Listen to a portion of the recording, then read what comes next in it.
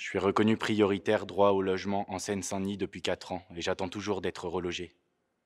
Je saisis le défenseur des droits pour discrimination territoriale, Linda, 57 ans. Si c'est un comédien qui vous livre ce témoignage, c'est que ceux qui sont victimes d'inégalités territoriales n'osent pas toujours prendre la parole. Si vous êtes victime d'une discrimination, vous aussi, vous pouvez témoigner.